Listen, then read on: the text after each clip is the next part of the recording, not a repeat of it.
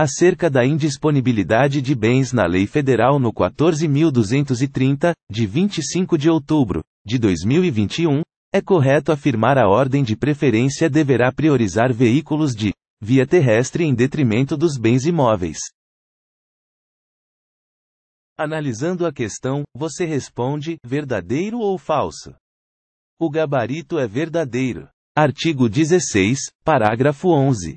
A ordem de indisponibilidade de bens deverá priorizar veículos de via terrestre, bens imóveis, bens móveis em geral, semoventes, navios e aeronaves, ações e quotas de sociedades simples e empresárias, pedras e metais preciosos e, apenas na inexistência desses, o bloqueio de contas bancárias, de forma a garantir a subsistência do acusado e a manutenção da atividade empresária ao longo do processo.